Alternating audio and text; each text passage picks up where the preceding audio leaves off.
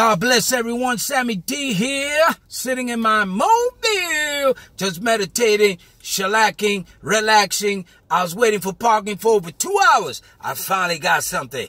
I knew that somehow, someone, somewhere would have to pull out. So I waited patiently and I'm in here. And I want to do this video here. You know, today is Elvis Presley's birthday. I was watching some of his uh, movies this morning and it is indeed an honor because I love Elvis Presley's music and his movies. I, I, remember the times when my uncles back in the 60s used to take me to watch Elvis Presley movies at the movie house. And I, I remember some of his songs like, uh, You Ain't Nothing But a Hound Dog, or Viva Las Vegas, mm, oh, baby, let me be your loving teddy bear. Hey, thank you, thank you.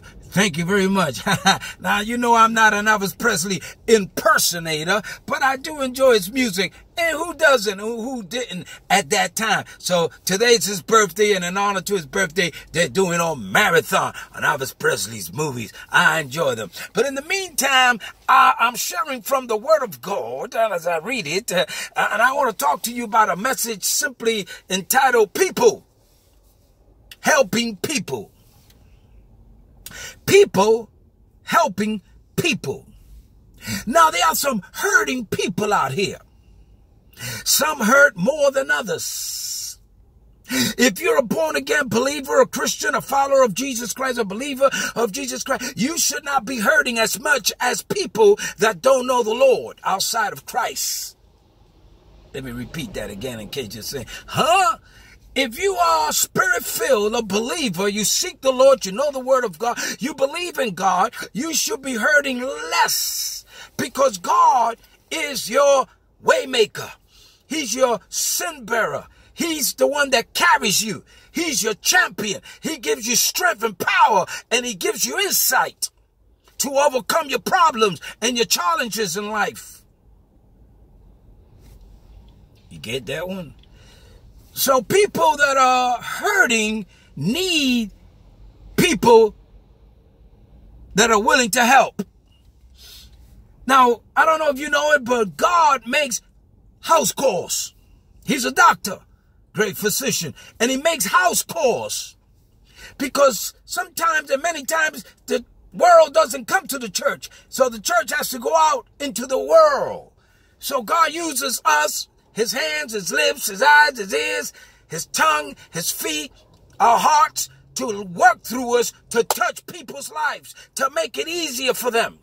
Well, recently I was talking to a young lady that was going through a crisis in her life. She was uh, crying, and I noticed that. And I said, "Why are you crying?" And uh, she says, "Yeah, you know, I said something to a friend of mine. She's out of country, and I hurt her, and I feel bad that I hurt her." I said, "Well, did you ask for forgiveness?" She says, "Yes, I did." Did she forgive you? She said, "Yes, she did." I said, "Well, now you got to learn to forgive yourself. You got to understand that what's done is done." You can't beat yourself up.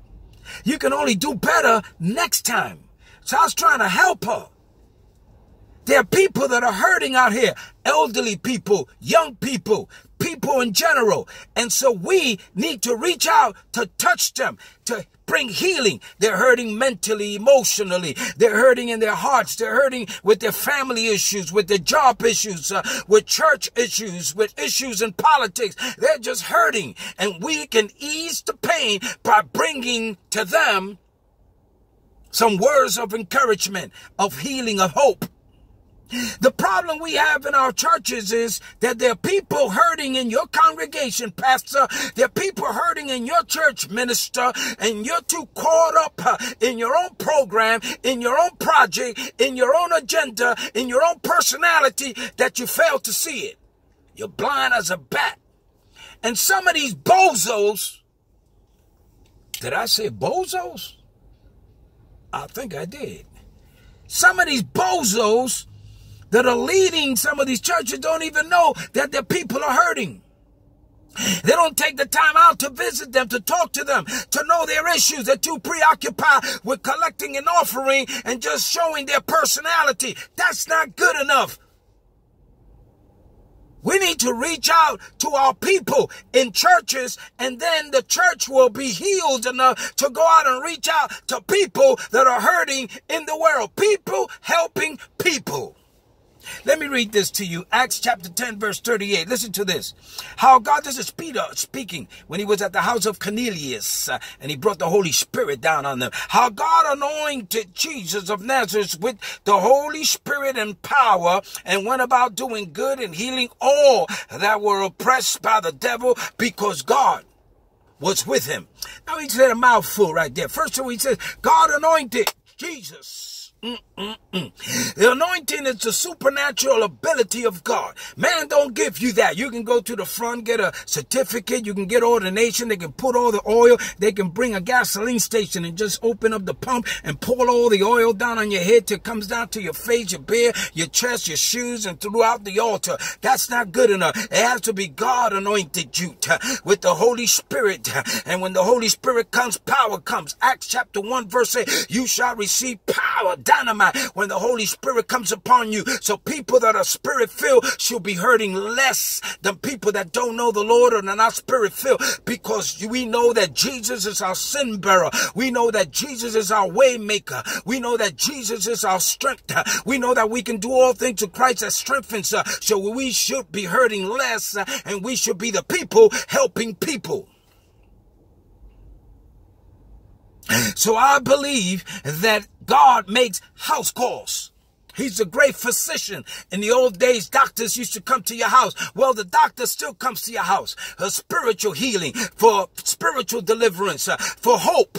What I mean by that is if the church gets it together, we're the ones going out, uh, touching people's lives that are hurting. You should always be on the look. Uh, your radar should be always, who's hurting today? Who can I pray for? Who can I talk to? Who can I encourage? Who can I step before them and help them? You say, Sammy D, I'm not a about minding people's business. Uh, I'm not a body, a busy person or a busybody. I'm going to mind my own business. Well, the Bible says we are brothers keepers. Uh, and yes, I think there, there are times when you need to step out of the boat and reach out to someone and touch someone and encourage someone and bless someone. I've done it so many times. I can tell you story upon stories. Uh, how I just stepped up. You're crying. You're hurting. I've been to hospitals where I see people, their parents die. I said, let me pray for you. I hug them. I've been to restaurants. I see see people crying and hurting. Can I please uh, mm, help you? Can I give you some hope? Can I listen to you? We should always be willing to help people that are hurting. The Bible says here that Jesus went about doing good and healing all, not some, but all that were oppressed of the devil. The devil will oppress you. The devil will depress you. And if you don't know the Lord, the devil will possess you. And it's up to us through Christ uh, to bring deliverance to the people that are possessed, oppressed, and depressed. Step in there and help your fellow man. It may cost you. It may cost you to get out of your way. It may cost you to sacrifice. It may cost you to some people tell you mind your own business. It may cost you people to tell you I don't need your help and reject what you're about to offer them. But that's all right. Because I feel in my heart that it caused God his only begotten son. John 1:16 God so loved the world that he gave his only begotten son. And it caused Jesus his life those that he healed, those that he preached to, those that he taught in the Sermon of the Mount, they said, crucify him. So it cost him something, but you never see Jesus. Let me take my glasses off so you can see my eyes a little better. It never we never see Jesus uh, in any of the scriptures in the New Testament uh, where he's complaining about something, where he's saying, Peter, I can't go out today to the people. I have a headache. Oh, he said something like, man, they're knocking on my door. They're trying to get me. I'm tired. Tell them I'm not home. Or I can't heal anybody today. It's my rest day. I'm not going out anywhere. We never see that picture of Jesus. He was always willing.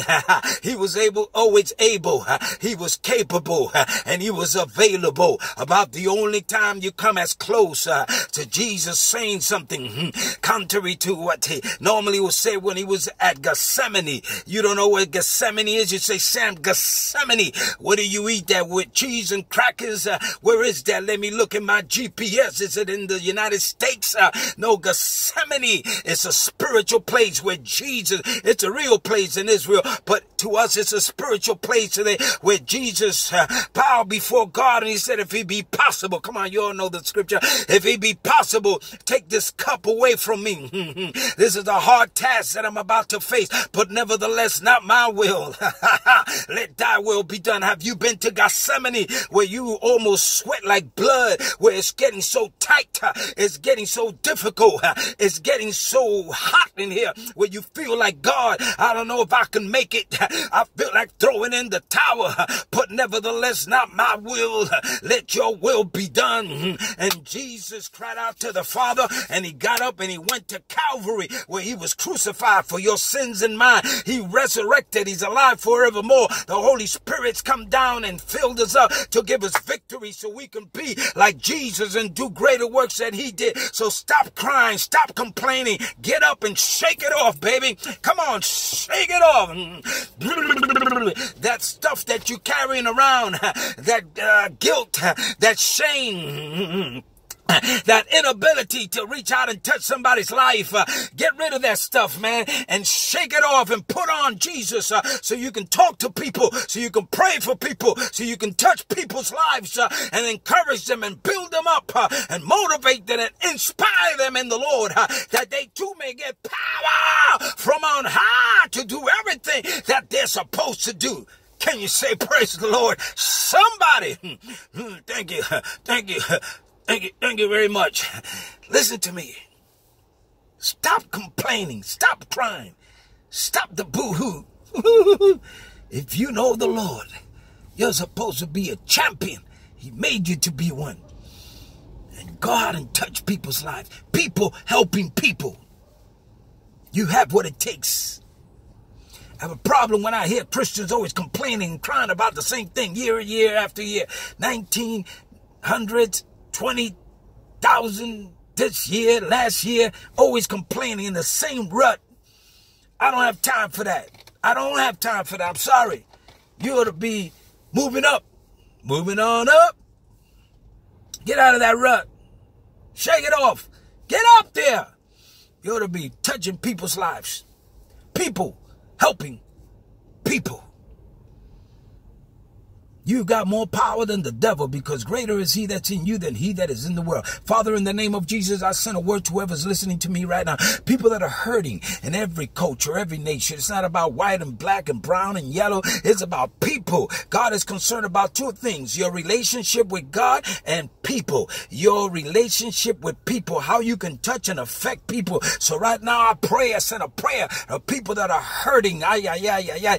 I believe in the power of God to bring healing and deliverance uh, by the name of Jesus of Nazareth. I pray, amen and amen. Let me go upstairs and see some of my Elvis Presley movie. Uh, thank you. Thank you. Thank you. Thank you very much. God bless you. I hope you enjoyed this message. Mm -mm -mm